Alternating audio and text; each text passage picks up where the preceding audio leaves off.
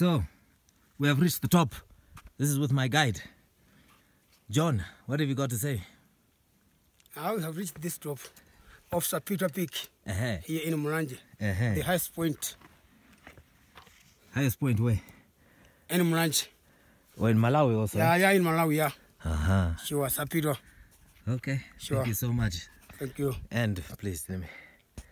So you can see the view. Ah, we are in the clouds, man. We are in the clouds here. wow, praise God. Gracias a Dios. And how long did we take? Two days, huh? Yeah, two days, yeah. And now we're going to go down. Thank you, brother. Thank you.